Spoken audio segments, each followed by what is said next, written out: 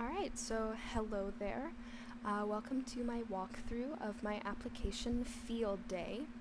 So I made this application uh, specifically for active military and uh, veterans to find a place where they can connect with those who understand their unique journey and find events and opportunities around them.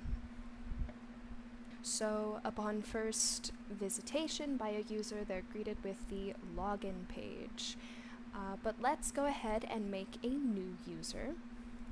So their name's gonna be Jane Doe, Jane Doe at email.com. Now, all of this information is being stored into a MySQL database, and that's how all of the events and all of the users' events that they've made are going to be able to be rendered to their account. So when they click register, a pop-up appears that says they've successfully registered for the app and they can get redirected to the login page here. So let's put in her email and her password.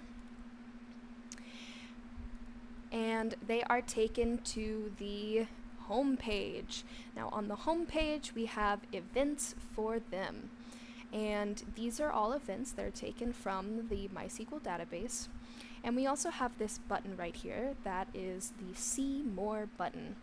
And this is actually different than the rest of my application. This on click is a client-side rendering button, so everything else is server-side rendering on my application, but this Whenever it's clicked, we'll tell JavaScript to fetch data from an API endpoint and render that data to the DOM. So you can find one that you like, shuffle through them, and let's say that I was interested in barbecue night. So I'll click on that and I can see the description and just a little bit more information about barbecue night.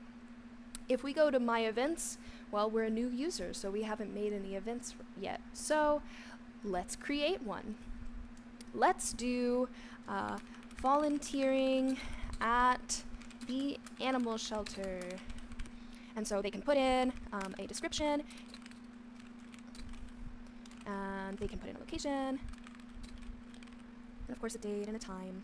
Let's say 10 o'clock a.m. and it's volunteering, so we'll, we'll have it be a free event. And so when we cr click create event, now we have an event in the My Events page. So that's rendered, we can click on it, and we can see it again. But let's say something came up and we had to delete the event. We can simply click this button and it gets rid of the event. And then of course, we have the logout button that will log the user out and redirect them back to the login page. So thank you so much for watching this demo. I hope you enjoyed seeing my application FieldDay.